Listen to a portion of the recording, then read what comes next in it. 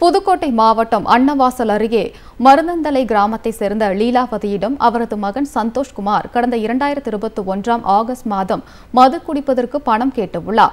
லீலாவதி பணம் தர மறுத்ததால் ஆத்திரமடைந்த சந்தோஷ்குமார் மண்ணெண்ணெய் ஊற்றி தாயை எரித்து கொலை செய்தார். அன்னவாசல் காவல்துறையால் கைது செய்யப்பட்டு சந்தோஷ்குமார் சிறையில் அடைக்கப்பட்டார். இது தொடர்பான வழக்கு விசாரணையை புதுக்கோட்டை மாவட்ட நீதிமன்றத்தில் நடைபெற்று வந்தது.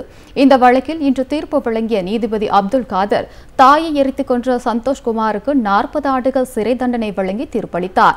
முதல் மூன்று மாதத்திற்கு வாரத்தில் ஐந்து நாட்கள் தனிமை சிறையில் இருக்க வேண்டும் என்றும் அரசு சலுகைகள் எதுவும் வழங்கக்கூடாது என்றும் நன்னடத்தை விதிகளை காட்டி முன்கூட்டியே விடுதலை செய்யக்கூடாது என்று அரசுக்கு பரிந்துரை செய்யப்பட்டது.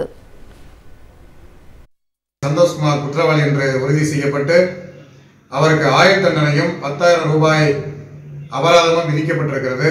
அந்த பத்தாயிரம் ரூபாயை செலுத்த தவறினால் இரண்டாண்டு காலம் தண்டனை விதிக்கப்பட்டிருக்கிறது. இந்த ஆயுள் தண்டனையை பொறுத்தவரையில் அரசு நாற்பது ஆண்டுகளுக்கு உள்ளே அவர் மீது எந்த சலுகையும் காட்டி அவரை விடுவிக்க கூடாது என்றும் அரசுக்கு பரிந்துரை செய்யப்பட்டிருக்கிறது. மேலும் ஒரு மூன்று மாத காலம் மாதந்தோறும் ஐந்து நாட்களுக்கு அவர் தனிமை சிறையிலே இருக்க வேண்டும் என்று உத்தரவும் பிறப்பிக்கப்பட்டிருக்கிறது.